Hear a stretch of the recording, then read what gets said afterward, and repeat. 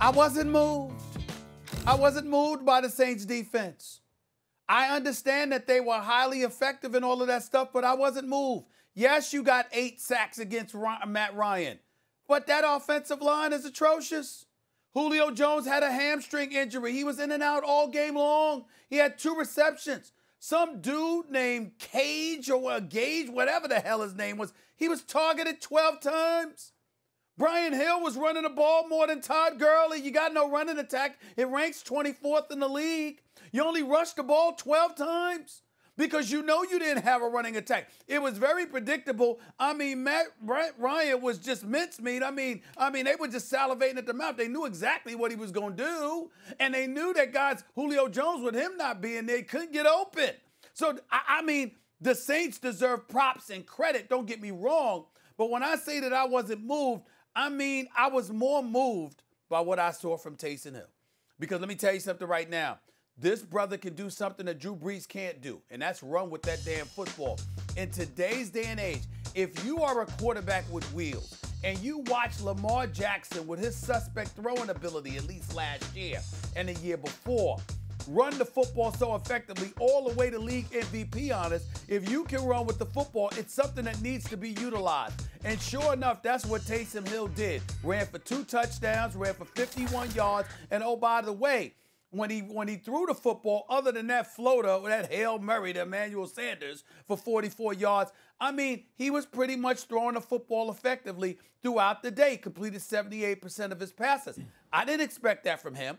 I hadn't seen him throw the football, and he looked pretty damn good throwing the football. This is which is why I didn't blame Sean Payton for retweeting Roddy White, the former wide receiver for the Atlanta Falcons, who was talking smack all week long about what the Falcons were going to do to this dude having his first NFL start in Taysom Hill. Well, he put all of that to bed. He handled his business, and I give credit where credit is due to walk in as the successor to Drew Brees, at least for the moment and to look the way that he did, throwing the football, but then to add running the football to his arsenal, which is something Drew Brees could never do, it made the Saints look every bit as formidable as we're accustomed to seeing them look, at least this season. And that is what impressed me. It's who he was coming in after, which was Drew Brees. It was how effective he threw the football. It was adding the running dimension to his arsenal and putting that in play for that offense. And of course, I, I, mean, I'm just looking at it from the standpoint that, with all of that being said, it made perfect sense because guess what? Jameis Winston would not have run the football like that.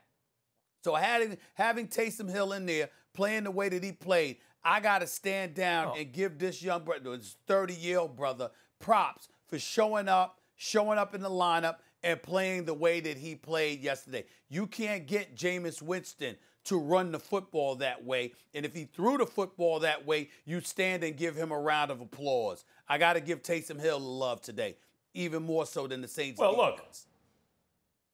Look, that's why I couldn't figure out why was Sean Payton lying to us, right, at the Super Bowl. What, what like, how does that help him to tell us he's gonna that that that Taysom Hill is the quarterback of the future when we started hearing, oh yeah, they're gonna start Jameis, and then I was like, oh, coach wasn't lying. And by the way, he seemed authentic to me when he seemed honest to me when he told us he was going to start, that Taysom Hill was the quarterback of the future. Stephen, I know he's 30, but that's because Drew Brees is 40. You know, he could have started with the team at 20. You're not going to replace Drew Brees while he's still good. So that's why he's so old and he's, you know, but he understands the offense well. He didn't make a lot, he didn't make mistakes, and especially, at least turnovers, and especially what I liked was he got better in the second half. He was sort of game managing, feeling his way in the first half, didn't really feel like he, Second half, he was better. So that's all encouraging, and there's a lot to like and talk about about Taysom Hill. However, Taysom Hill did a nice job. And considering we don't think of him as a quarterback, he's thought of more before today as a, as a or yesterday as a gadget type player, although at a very high level. That may be a bigger kind of story or what we remember. But in terms of who was more impressive yesterday, Stephen A. Smith.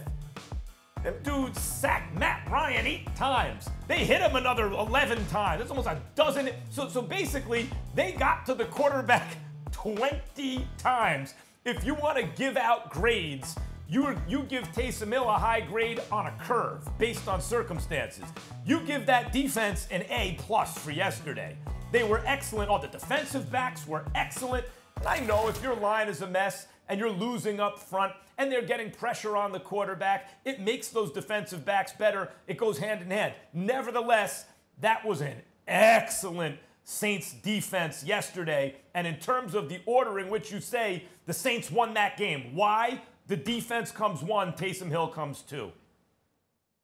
Well, I understand where you're coming from, Max, but I'm just saying I'm just I'm I'm I'm indicting the the Atlanta Falcons. You know that I officially believe they're the dumbest team in the NFL when you consider the fact that they treated an onside kick like it was a punt remember against the Dallas Cowboys. I won't forgive them for that for years. We all know how I feel about them.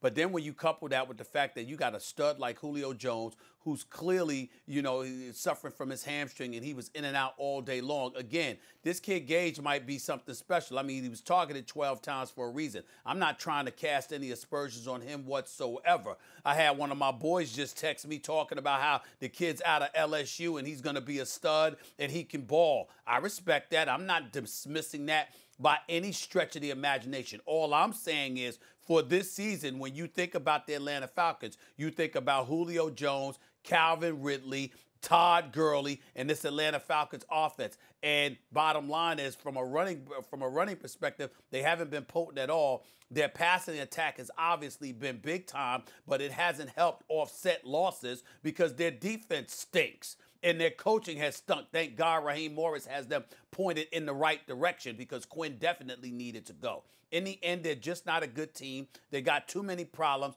The offensive line is one of the biggest problems that they have, and we saw the results of that because Matt Ryan was suffocated and squashed all day long. That's the bottom line. It wasn't just because of New Orleans, it's because we knew before the game that their offensive line stunk. Thanks for watching ESPN on YouTube. For live streaming sports and premium content, subscribe to ESPN Plus.